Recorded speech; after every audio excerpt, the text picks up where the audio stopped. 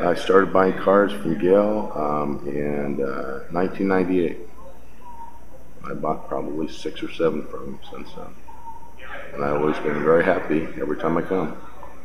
You know, I went to other dealerships and usually end up not buying nothing.